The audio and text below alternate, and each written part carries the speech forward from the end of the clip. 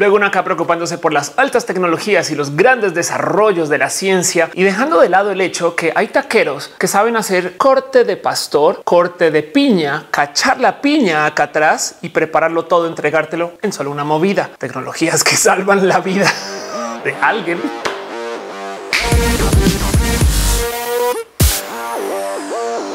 Gente bonita, ¿qué tal? Yo soy Ophelia Pastrana, la explicatriz. Ustedes bienvenidos aquí a mi canal en YouTube, donde hablamos de tecnología, a veces de videojuegos y a veces acerca del fin del mundo. La verdad es que el tema de hoy es bien fatalista.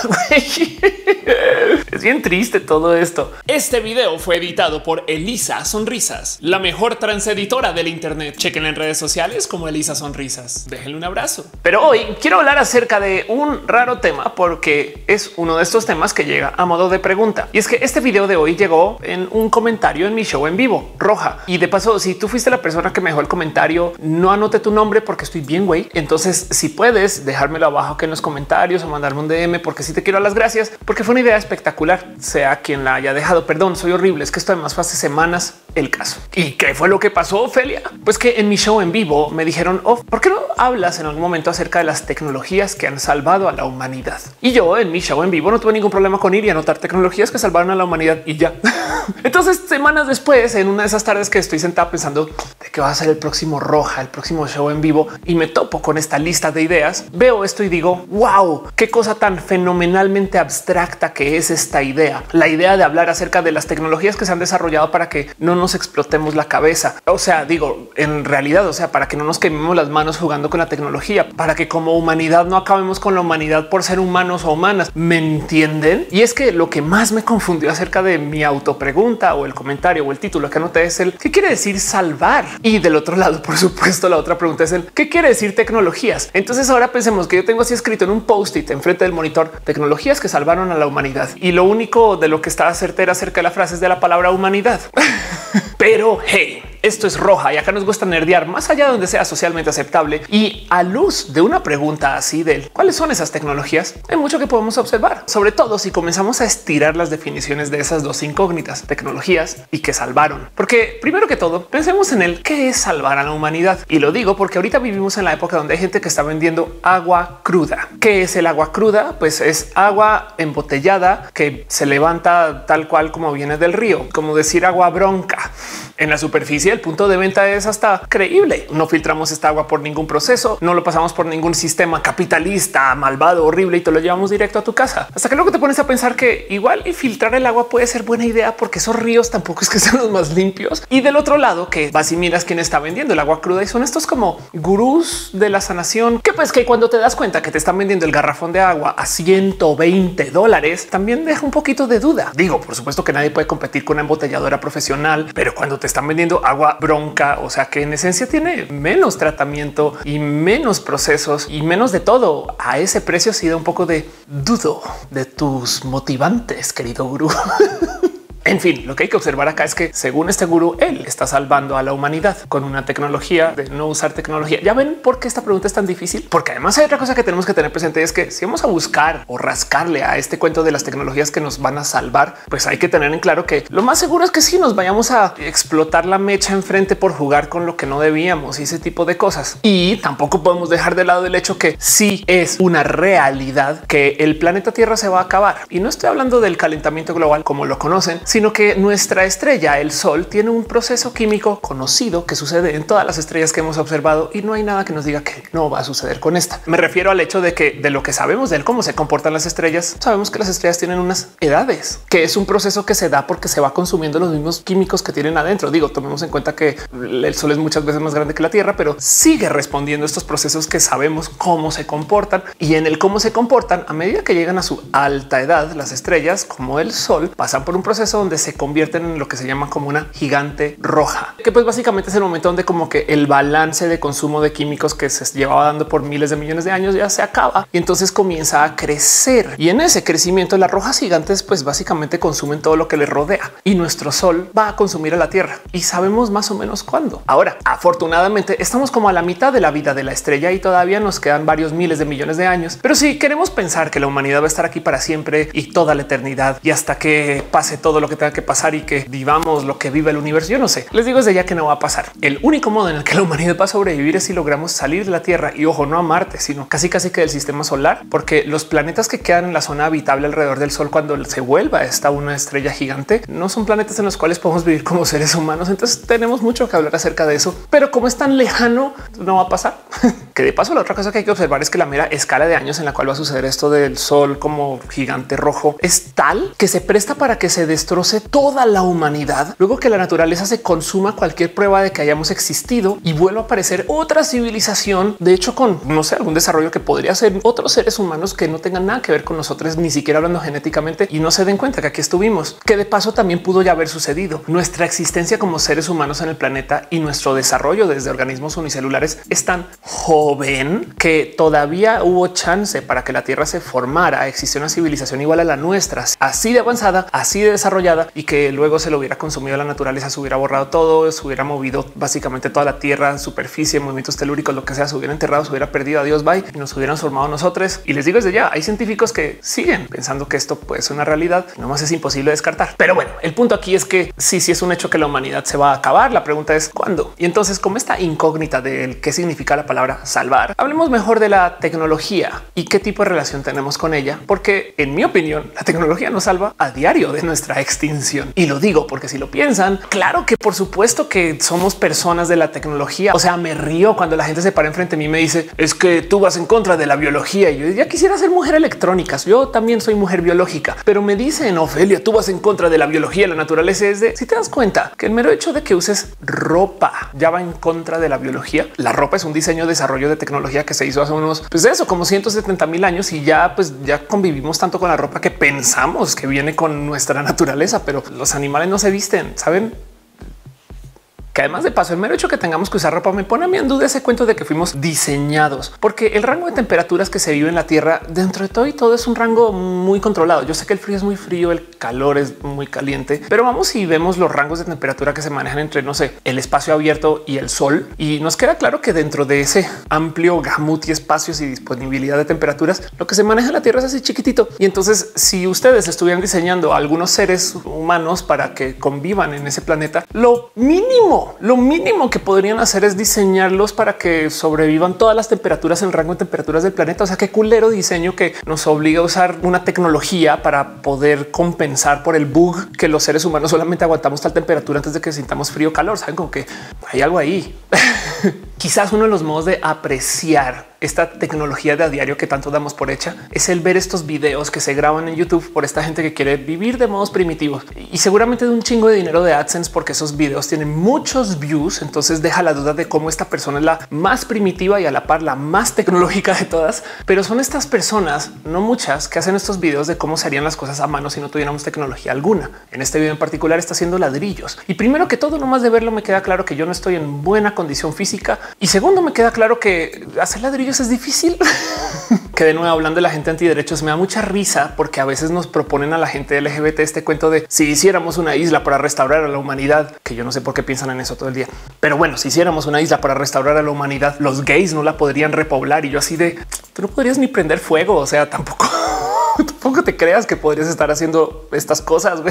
Y es que esta tecnología, el de la construcción, las paredes, las puertas son una tecnología que alguien tuvo que desarrollar en algún momento. Y yo sé que suena tonto decir que la puerta es una tecnología avanzada, pero ahí donde lo ven, la puerta nos impacta, porque déjenme decirles que hay nexos culturales entre los tipos de puerta que se usan o lo que se usa para demarcar distancias o diferencias entre cuartos y habitaciones. En Japón, por ejemplo, que es muy tradicional este tema de las paredes de papel y las puertas de papel, la gente maneja esto del volumen de modo muy diferente que en lugares donde hay mucha distancia entre personas. Que bueno, de nuevo, le hablo un poquito al cómo respondemos al ambiente que nos rodea, porque al otro lado hay un sinfín de estudios súper interesantes del cómo en los países donde hay temperatura caliente la gente habla con voces y palabras y modos diferentes, donde hay temperatura fría.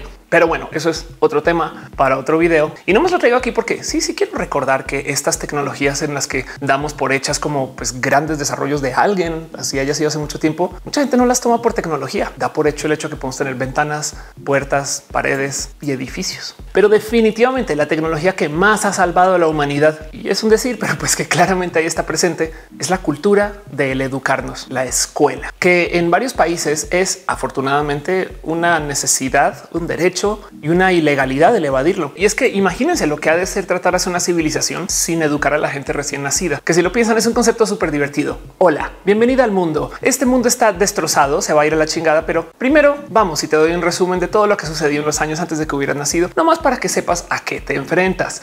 En esencia, eso es la escuela. Quizás uno de los modos modernos donde mejor podemos apreciar todo lo que significa el tener una educación. Y ojo, porque esto todavía es un gran privilegio, dado que todavía existe mucha gente que es analfabeta, problema que ojalá pudiéramos solucionar de acá a futuro, pero que de todos modos, aún mucha gente que no sabe leer y escribir, todavía esas personas pueden convivir de una forma u otra en sociedad porque tienen esta educación básica de cómo convivir en sociedad. Hay un ejemplo muy, muy, muy cruel que si no han visto nunca les recomiendo que vayan a buscar videos ya de este tema y que se empapen porque además es muy interesante y es el caso de Ginny, la niña feral. Entiéndase, no es que ella haya sido una niña salvaje que se estudió, sino que es una niña que feralizaron. Me explico. Este es un caso de abuso que la historia va así. Un padre al enterarse que su niña va a tener problemas de desarrollo que resultó no ser tan verdad, decide que la va a criar o más bien que no la va a criar. Y entonces por sus primeros 13 años de vida no la deja salir de su habitación. Pero ojo, tampoco la deja caminar por su habitación. De hecho, apenas ella se despierta por 13 años, la amarra contra una silla y la deja ahí durante todo el día. La alimentará de vez en cuando y luego al final la pone en la cama. Motivo por el cual su madre, que es una persona que tiene ceguera, también la deja vivir así. Y de hecho, al acercarse el padre a lidiar con la niña, ni siquiera le habla, solamente le gruñe. Si existen casos de abusos, este tiene que ser el más extremo del que yo haya escuchado en mi vida, dejando de lado cosas que ya incluyen, pues en esencia,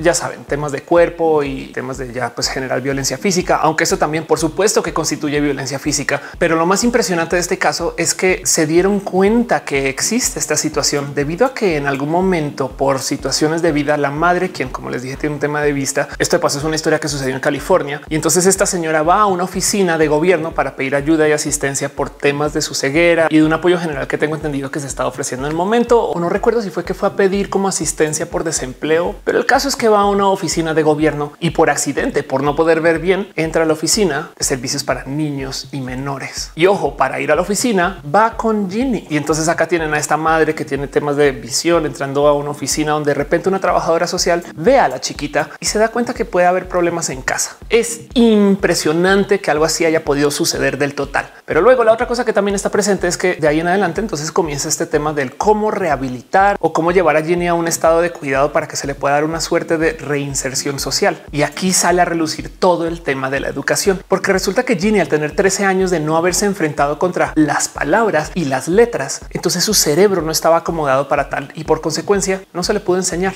Pero ojo, porque resulta que en este caso de estudio se topan que ya sí se puede comunicar por medio de señas y mostrar cómo dónde están las cosas. Digo, para que entiendan el por qué yo traigo esto como un tema de educación y no un tema de abuso, que vale la pena observarlo solo bajo esa condición y vayan y buscan historias completas de todo lo que sucedió con este caso que es rudo. Pero el punto es que para que entiendan por qué yo lo traigo como tema de educación es porque este es un claro caso de él. ¿Qué pasaría si no educáramos a la gente del total? Y para que entiendan todo lo que damos por hecho acerca de las cosas que nos enseñan, Ginny no sabía caminar bien. Tenía un caminado que le llamaban el caminado de conejo porque no balanceaba bien, porque no la dejaban caminar y porque nunca tuvo ese proceso de capacitación del caminado que lo damos por hecho. Pero ahí está. Es de las cosas que vienen en el kit educación de bienvenida al mundo. Te vamos a desatrasar en todo lo que hemos aprendido en los últimos siglos. Chequen esa historia, despampánense, llénense de rabia como yo, pero sepan qué sucedió. Y lo importante aquí es para lo que estoy hablando en este video es pues saca a relucir lo importante que es el educarnos y cómo la tecnología de la educación vaya que es importante y cuántas veces nos habrá salvado.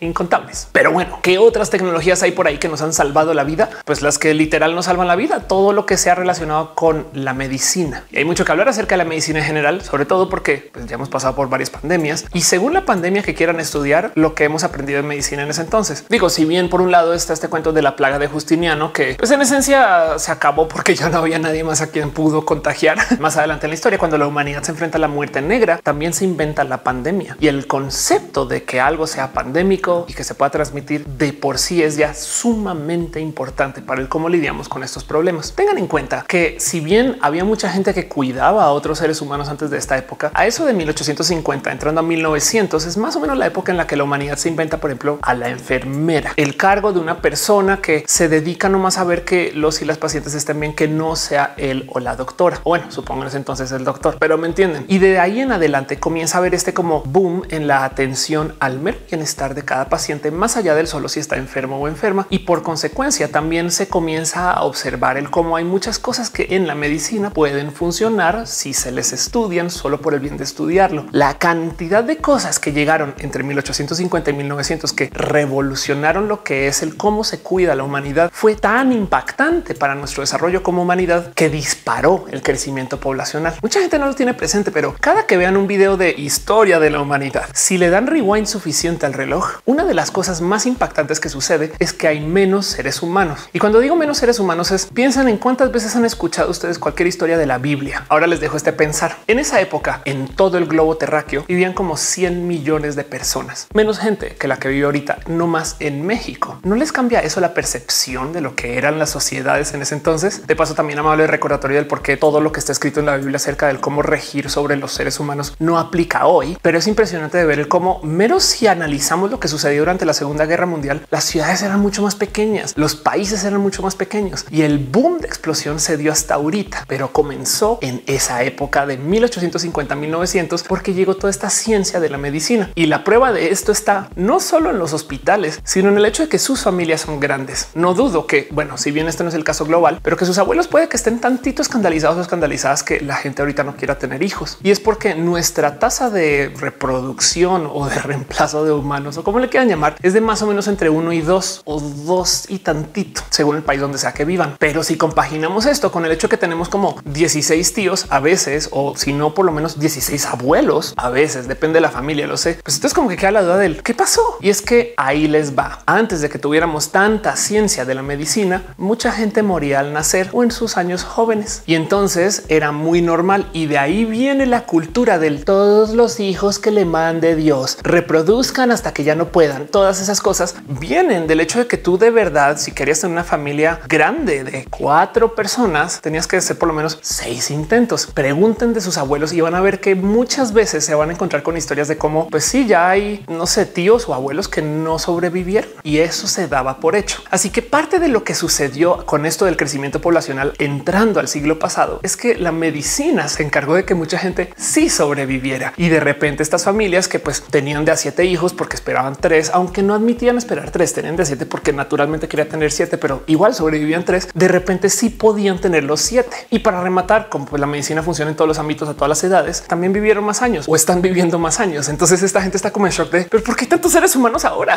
Y de ahí en adelante comenzó esta presión para desarrollar tecnologías para poder planear las familias, porque ahora todas las familias son súper fértiles, se dan. En fin, entonces en eso la observación de tecnologías que nos salvan o que han salvado a la humanidad, claro que hay que admitir que la mera tecnología de la medicina, pues aquí nos mantiene. en 1700 muchos de nosotros y nosotras no hubiéramos vivido todo este tiempo. Así hayamos sido personas muy sanas. Y eso que todavía no entrado las cosas más básicas de todas estas tecnologías que se inventaron o que llegaron con la medicina. Lavarse las manos, los antibióticos, tantas cosas que nos permiten mero estar acá, cosas que súper damos por hechas. Pero bueno, otras tecnologías que han salvado a la humanidad, por supuesto que tenemos que hablar de la agricultura. Y ojo, porque hay dos modos de ver el que la agricultura sea una gran tecnología. La primera es el hecho de que la agricultura es tan de antaño que tenemos estos viejos saberes que también damos por hecho. Mucho podemos decir acerca de cómo tenemos hoy en día estas empresas que están haciendo diseño genético y sobre ese diseño genético entonces están haciendo cosas súper malvadas con las semillas, pero a la par no podemos ignorar que el maíz que tenemos hoy, los aguacates que tenemos hoy, tantas cosas que pensamos que son súper naturales, son comidas totalmente modificadas a lo largo de muchos años de plantar y de que varios seres humanos se vayan enseñando entre sí el cómo plantarlos y cómo seleccionar este maíz en particular, este plátano en particular, este aguacate en particular y desarrollamos industrias inmensas alrededor de eso. Ahora, para futurologiar acerca de tecnologías que nos van a salvar en este rubro, pues como somos tantos seres humanos hoy, nos tenemos que organizar de modos diferentes que como nuestros ancestros, porque no podemos sostener a tantos seres humanos pensando que tenemos toda esta tierra para consumir por cada ser humano. Así que, por ejemplo, una de las grandes tecnologías que viene en esto de la agricultura son las granjas verticales, que son en esencia métodos específicos de cómo crecer cada cosa, no más que en vez de acaparar una cantidad ridícula de acres o como sea que midan terreno, pues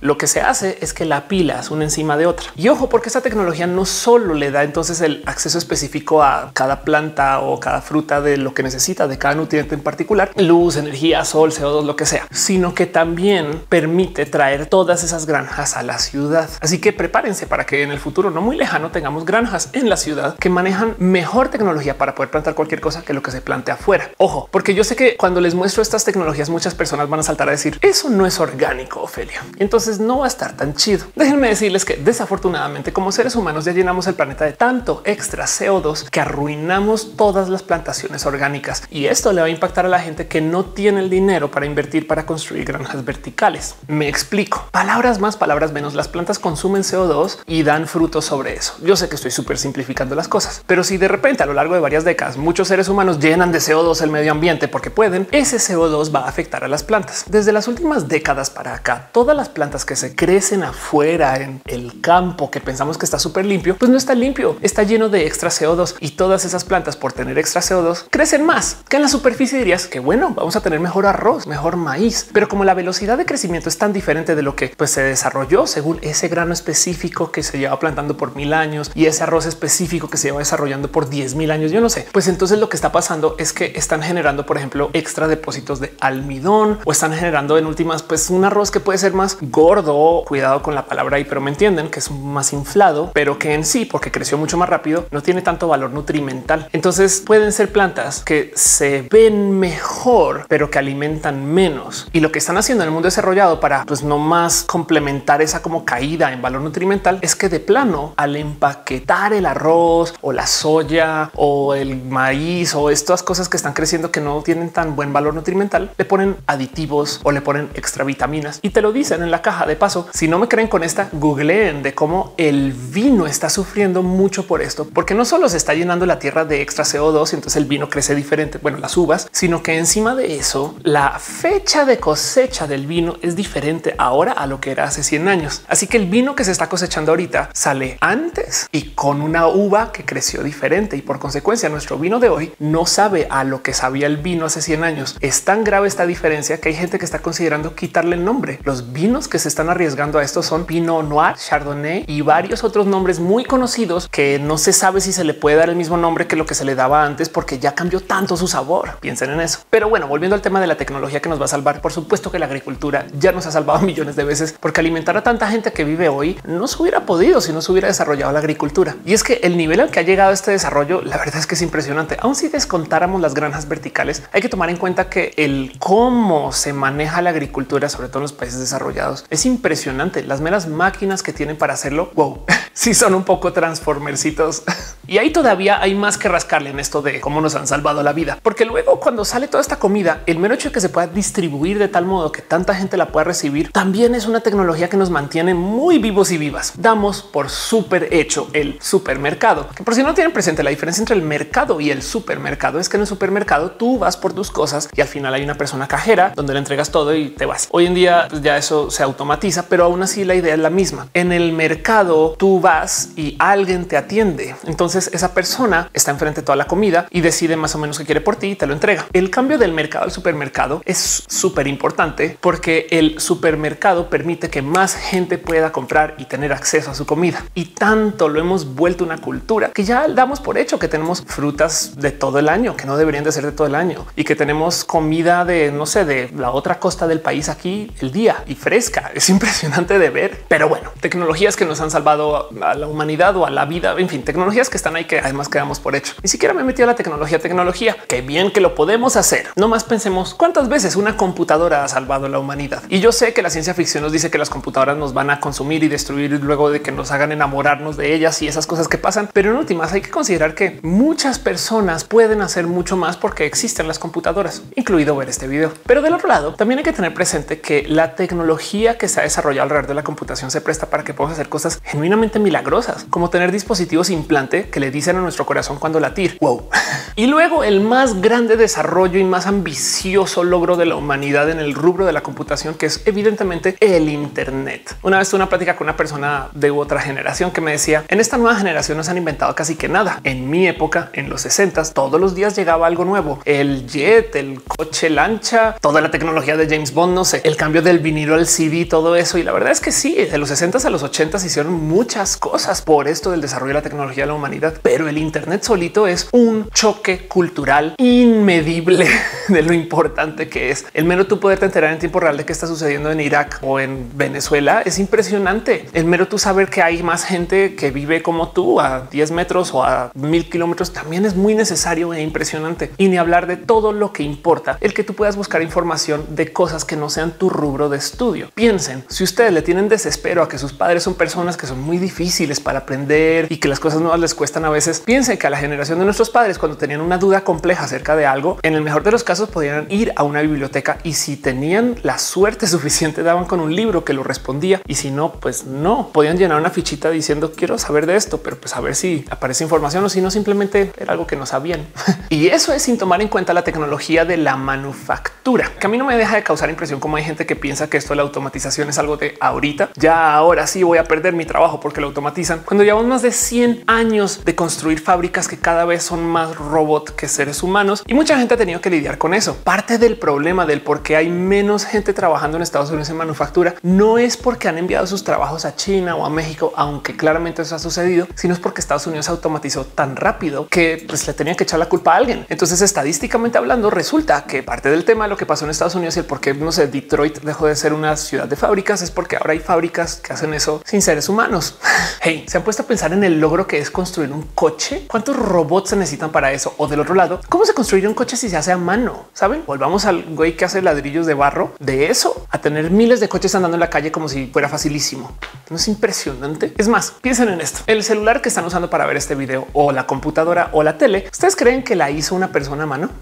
en fin, una de las tecnologías que claro que tengo que mencionar en un video que analiza el qué fue lo que nos salvó y qué lo que no nos salvó es la tecnología de la bomba nuclear, que es bien raro de decir porque de entrada estamos hablando de una tecnología que se creó para eliminar a la humanidad. Pero ahí donde lo ven, dejando de lado que pues supuestamente la Segunda Guerra Mundial se acabó cuando soltaron la bomba nuclear, que eso es muy debatible. Si es un hecho que lo que vino después de la Segunda Guerra Mundial fue la negociación entre la humanidad acerca de cómo no nos vamos a ir a guerra otra vez porque tenemos bombas nucleares. Y yo sé que mucha gente va a saltar a decir, Ofelia, todavía hay guerras. Y es verdad, pero las guerras que tenemos ahora son o locales o entre estados bastantes veces más pequeños que las guerras que tendríamos si los superpoderes deciden pelear. y cuando digo pelear es pelear en forma, como sucedió durante la Segunda Guerra Mundial. Porque con la tecnología que tenemos ahorita, si tres países de estos, bueno, dos decidieran enfrentarse con algo, eh, se acabó el planeta. Es así de fácil. Pero bueno, el punto es que si bien las bombas nucleares son horribles, devastadoras, y hay mucho que decir acerca del cómo y el por qué son así devastadoras, porque además como tecnología en últimas, wow, que hubiéramos podido inventar una cosa así. La realidad es que lo que funcionó detrás de la bomba nuclear es el hecho de que asusta un buen. Como con un dispositivo tenemos la capacidad de eliminar tres ciudades pequeñas, dos ciudades medianas o una ciudad grande solo con un dispositivo, pues entonces claro que da mucho miedo que un país ataque con una bomba nuclear. De suerte, aunque la verdad es que hubo gente hasta activistas haciendo esto, muchos países consiguieron la tecnología para poder desarrollar sus propias bombas nucleares. Y digo activistas porque hay historias de cómo la Unión Soviética consiguió sus bombas nucleares debido a que gente les entregaron los secretos de los estadounidenses para que se pueda desarrollar allá, dado que si los dos poderes tenían la bomba nuclear, entonces ya no hay supremacía. Y es que a raíz del desarrollo de la bomba nuclear y de la Guerra Fría, salió a luz una política internacional de miedo constante que se llama la política de destrucción mutuamente asegurada. Esta es una conclusión a la cual llegamos como humanidad. Después de que muchos años de la Guerra Fría nos enseñaron que en cualquier momento alguien se puede levantar, salir del lado que no es de la cama y pensar, sabes que le va a soltar las bombas a Estados Unidos. Y entonces eso podría acabar con Estados Unidos y lo único que se pudo negociar es esta amenaza de que cada país del mundo que tenga bombas nucleares básicamente salió a decir si yo veo que una viene en mi sentido, no me siento a pensar y respondo. Mejor dicho, no te voy a dar cabo de duda de que se disparó una por accidente, que un ataque terrorista ahí, que un hacker entró o que tu hija un día estaba jugando con la computadora y le dio el botón rojo. Yo no voy a pensar en nada. Y es que esto es lo que hace más sentido, porque un cohete intercontinental balístico le toma más o menos 20 minutos llegar a donde va, lo cual quiere decir que cualquier país tendría 20 minutos para llamar al presidente de Rusia. Oye, si fuiste tu culero, no así, pues ahí te va, no? O sea, ah, fue un accidente, perdón, no. Entonces nos escondemos. No puedes. Pero qué quiere decir esto? Que si del otro lado Estados Unidos está hacia dos de darle al botón, sabe que si le pica el botón de lanzar esa bomba nuclear, va a llegar otro de vuelta pase lo que pase. En esencia es un botón de autodestrucción. Y ojo, porque eso también quiere decir que países aliados puede que disparen también. De hecho, hay submarinos que están andando por todo el globo terráqueo listos para disparar en caso de que se destrocen las ciudades de sus países, cosa que se hace no más para mantener la amenaza. Si de puro chance le caen seis bombas nucleares a Estados Unidos y Estados Unidos no alcanzó a disparar, no hay broncas. Ahí todavía tenemos misiles que están listos para salir. Y recuerdan ese día que les decía que una bomba nuclear podría acabar con una gran ciudad, pues no más para que duerman en paz. Tengan presente que Rusia tiene nada más que 7 mil bombas nucleares por si acaso y Estados Unidos 6800 y los países consiguientes, Francia, Israel, demás, etc. Tienen más o menos unos 300, 200 cada uno, depende del país, pero son muchas bombas para la capacidad de cada cual y en esencia existen porque la idea es hacer una amenaza creíble. Así que en esencia el tema con las bombas nucleares es que si bien pueden destrozar a la humanidad así, el mero hecho de que existan nos ha salvado muchas veces y por consecuencia muchos países que se estarían yendo a golpes serios por alguno que otro motivo no lo están haciendo. Y entonces esta tecnología nos ha salvado, que es un decir, porque también hay una cantidad ridícula de historias donde por un pelito y nos quedamos sin humanidad. Les voy a leer dos en particular. Hablemos del 27 de octubre de 1962, que fácil pudo haber sido el día más peligroso para la humanidad, porque no fue un día que tuvimos uno, sino dos sustos nucleares al tiempo. El primero sucedió y ojo, esto es cuando Fidel Castro tenía bombas nucleares en Cuba. Aquí es cuando sea el primero de estos incidentes. Tengan en cuenta que Estados Unidos está en alerta máxima porque ya se enteró que hay misiles nucleares a nada de Estados Unidos y entonces le impuso un bloqueo naval a Cuba para que no pueda en esencia llegar nadie. Y ahí es cuando se da esta situación porque entonces los soviéticos decidieron enviar submarinos porque podían. Pero estamos hablando de los 60. La tecnología de la comunicación tampoco era tan buena. Y lo que sucedió fue así. En la mañana del 27 de octubre, un avión de reconocimiento U-2F fue derribado por los soviéticos mientras estaba sobre Cuba. Mataron a su piloto, lo que entonces provocó una escalada de tensiones a un punto muy elevado. Posteriormente, entonces lograron detectar un submarino soviético, el B-59, que en ese entonces estaba intentando romper el bloqueo que estaba imponiendo la Marina en los Estados Unidos alrededor de Cuba. Y ya que los estadounidenses descubren que es el submarino, va entonces un avión un destructor, el USS Beale, y comienza a lanzar cargas de profundidad para ver si sale, ¿no? Y aquí es donde se pone todo preocupante. El capitán del B-59, Valentín Savitsky, al sentir las cargas, entonces pensó que el submarino estaba siendo atacado porque llegó a la conclusión que ya había iniciado la tercera guerra mundial. Y entonces, pues la misión ahí le pedía que simplemente comenzara a lanzar sus misiles nucleares, porque ya estamos en guerra, ¿no? Ese día, ese submarino tripulaba con tres oficiales superiores, quienes para poder lanzar estos misiles nucleares tendrían que estar los tres de acuerdo. Y afortunadamente, uno de los tres, Vasily Arkhipov, decidió poner en duda el si estaban en guerra o no, mientras que los otros dos dijeron que sí. Solo por eso no se lanzaron misiles nucleares contra Estados Unidos. Pero ojo, porque ese mismo día la Fuerza Aérea de los Estados Unidos metió las patas en que envió un avión espía que al parecer sin querer sobrevoló sobre Rusia. Pongo muy en duda se metió las patas, pero es posible porque con la tecnología de los 60 no había GPS y entonces sí se pudo haber perdido. Lo que sucedió fue así. Un avión de reconocimiento U-2 de la Fuerza Aérea de los Estados Unidos que se estaba dirigiendo al Polo Norte para una misión de muestreos cruza accidentalmente este espacio aéreo soviético y pues en esencia pierde pista de su ubicación. Y entonces acuérdense que estaba pasando todo el submarino, pues ahora tenemos este avión espía que está perdido sobre la Unión Soviética y comienzan estos 90 minutos de pánico total, porque mientras el avión estaba perdido supuestamente en este espacio soviético, los soviéticos en respuesta envían seis aviones de combate MiG para derribarlo. Y entonces, como vienen estos aviones en este sentido, los estadounidenses responden con sus propios aviones caza para tratar de encontrar a este avión espía y guiarlo de vuelta. Pero estos aviones caza, por si acaso estuviéramos en guerra, entrando a la tercera guerra mundial y el submarino, estas cosas salieron con misiles nucleares. Eran unos aviones F-102 Delta Daggers y los misiles que llevaban consigo los misiles Falcon, que en esencia pudieron haber comenzado la tercera guerra mundial. De pura suerte, los aviones estadounidenses encontraron al YouTube perdido antes que los rusos, porque si no hubieran disparado todo esto el 27 de octubre de 1962. Y si eso no les quita el desayuno, la cena, la comida, hay todo tipo de historias de cómo por accidente en estas instalaciones de operación nuclear a veces se les ha ido el, por ejemplo, poner el programa de simulacro de guerra y tomárselo en serio. O sea, esto no es broma, no es choro, simplemente que una vez por allá entre los 60 y los 70 sin querer activaron el programa en el computador y entonces les dice, mira, están saliendo todos estos cohetes de no sé, de la Unión Soviética y pues luego faltando dos para que se disparen los misiles en respuesta fue como de un momento checa para ver que no haya sido el programa de simulación y resulta que sí. Güey. En fin, hemos estado a dos de que las bombas nucleares nos decimen, porque de nuevo, si lanza una, pues los otros países responden y ya se acabó. No es como que ahora vamos a negociar, ver qué pasa. No es el plan y la doctrina dice si me disparas, yo te respondo y no pregunto. Pero ahí donde lo ven, no hemos tenido guerras nucleares desde la guerra mundial. Entonces, al parecer funciona. Estadísticamente hablando, sí es un hecho que vivimos menos guerras ahora que antes, aunque evidentemente no quiero negar que ahorita estamos pasando por guerras horribles y que los conflictos armados todavía existen, solamente que no son nucleares y menos mal. Pero bueno, de paso en eso de tecnologías que han salvado a la humanidad, también tenemos esta tecnología de la economía.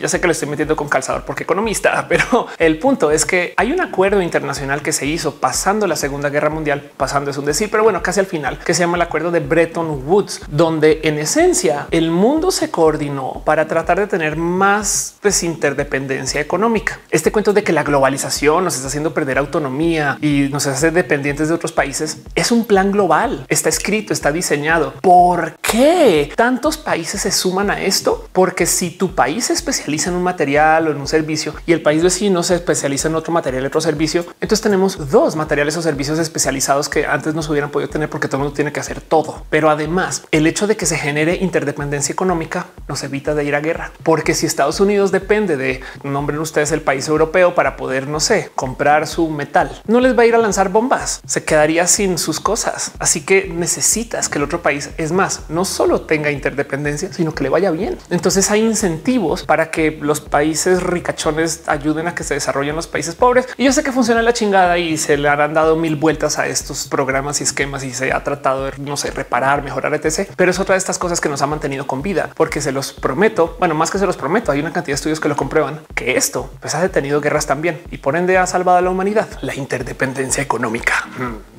De paso, quiero hacer una pequeña mención en agradecimiento porque estuve hablando mucho de esto, porque ante la duda de él, qué significa el tecnologías que salven a la humanidad, estuve preguntando esto también en Twitter y me dejaron respuestas bien cool. Desde las respuestas del gracias al Internet me enteré que esto existe y puede suceder y eso me salvó la vida, hasta el gracias al Internet con GPS me ubiqué y pude encontrar mi camino de vuelta a no sé, mi hogar y eso también me salvó la vida. Pero también hay gente que me ha dicho cosas como el gracias a que existe esta tecnología pude monitorear mi salud y me salvó la vida. Luego otras respuestas memorables está el tema de por ejemplo el cinturón de seguridad, que es una tecnología vehicular que se desarrolla por Volvo y se la regala al mundo. Bien que pueden haber sido trillonarios con esto, siendo el único coche con cinturones de tres puntos, pero pues Volvo se la regaló a todo el mundo y ahora todos los coches lo tienen. Y seguro eso ha salvado vidas. Eso sí es un hecho. Tecnologías de la traducción, tecnologías del colaborar tantas cosas. Chequen el tweet o si quieren colaborar sus propias propuestas de qué tecnologías les han salvado la vida a ustedes, respondan allá o déjenmelo saber acá abajo en los comentarios, porque para mí esto es interesante. En este mundo de la comunicación que está tan lleno de Black Mirrors y de historias de cómo la tecnología nos va a destrozar y Terminator y Robocop, el sentarnos a pensar dos segundos que gracias a que existen esas tecnologías vivimos mucho mejor,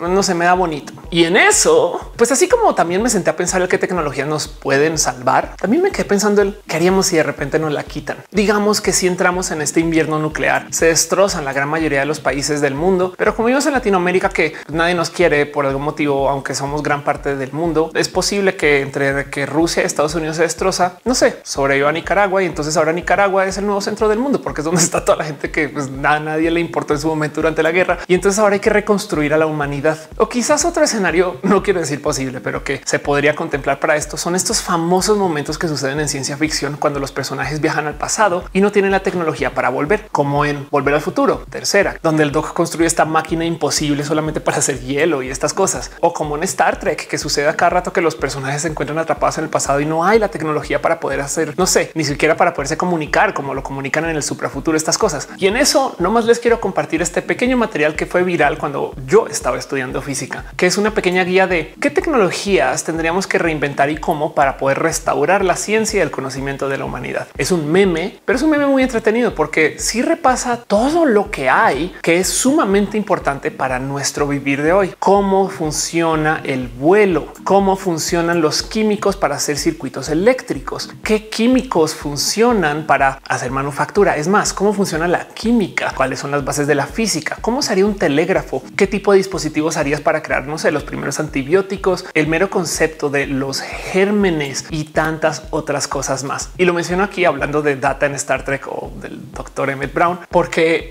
justo este meme dice en caso de que viajes en el tiempo al pasado y no tengas cómo volver, aquí la guía y es un supuesto póster para que pegues en tu máquina del tiempo. Ahí se las dejo. Pero es que sea algo que decir acerca de él, cómo ser seres humanos ya no existe por su propia cuenta, porque somos seres humanos con tecnología y esta tecnología no la vamos a seguir pasando de generación a generación y se va a seguir construyendo sobre cada quien y nos va a cambiar también como personas. Ya sucedió el mero hecho de que tengamos caries se da porque tenemos esa tecnología de la cocina y la cocina en esencia es un estómago externo que antes no existía, pero ahora que existe nos permite ingerir muchos más nutrientes que no solo cambia nuestro cuerpo, sino que deja obsoletos algunos huesos y algunas cosas que tenemos ahí de nuestra formación que ahora pues son estas complicaciones como la caries. Y en eso, si parte de nuestra humanidad es tener, ser o hacer tecnología, entonces que la tecnología nos salve también implica que se está salvando a sí misma, cosa la cual hay que pensar mucho. De paso, en este cuento de él, cómo no se sabe si somos la última o primera o segunda o tercera civilización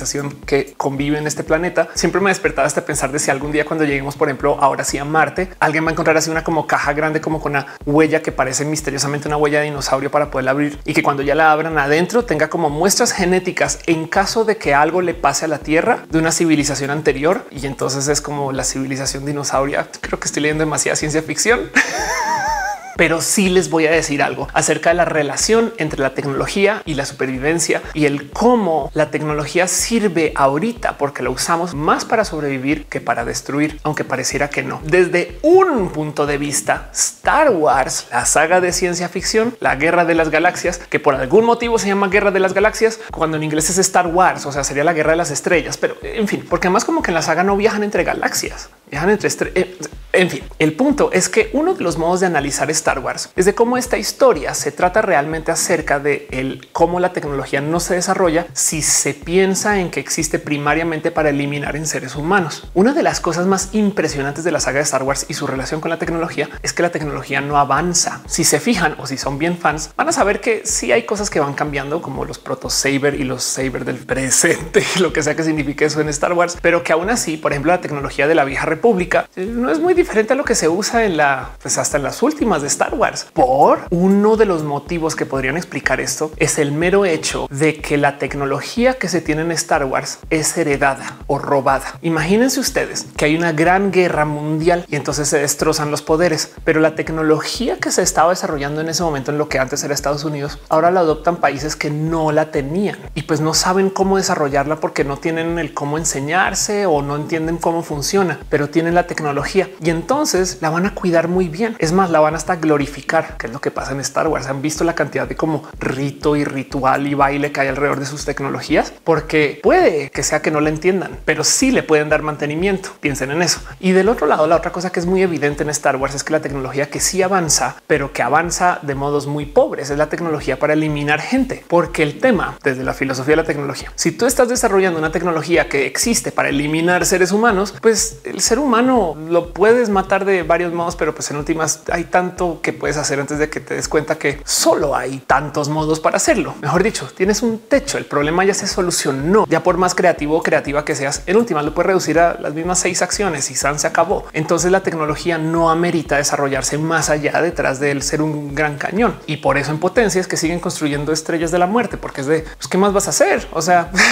no hay más que tengas que hacer sino explotar planetas y esto es lo mejor que hay. Así va a ser siempre porque los planetas siempre tienen las mismas características y los seres humanos siempre tienen las mismas características también, aunque no sean seres humanos en Star Wars, pero me entienden el punto. Star Wars puede que nos diga mucho acerca de cómo nuestra relación con la tecnología funciona, porque la tecnología en últimas, aunque mucha de ella venga de estos procesos militares y de defensa y de guerra, realmente existe con mejores motivos que el solo eliminar humanos o guerra o defensa. Y a eso le doy la bienvenida. El que tengamos desarrollos de tecnología ahorita implica que estamos queriendo solucionar muchos problemas a la vez. Y eso parece que es el perfecto modo de decir que estamos salvando a la humanidad. Pero bueno, ¿qué harían ustedes? ¿Qué tecnologías no mencioné acá? Seguro todas. Dije alguna barra basada, alguna bobada. Fui youtuber tontita. Déjenmelo saber aquí abajo en los comentarios. Hey, si yo logré que ustedes googlearan algo, así sea para comprobarme que dije algo mal, también gané, porque la idea es que cada quien pues investiguemos, dudemos o pongamos esto a andar de nuestro propio criterio. Pero de todos modos, déjenme saber por pura curiosidad el que piensan de este tema. Si les interesa, si le tienen miedo a que el día de mañana alguien se tropiece y suelte una bomba nuclear, puede pasar. O si estamos a gusto con la tecnología que tenemos, no sé, pensar es hay miles. Les quiero. Gracias por venir acá. Y recuerden que estos temas existen en este canal porque nos gusta hablar acerca de cosas diversas, porque estos temas son para gente diversa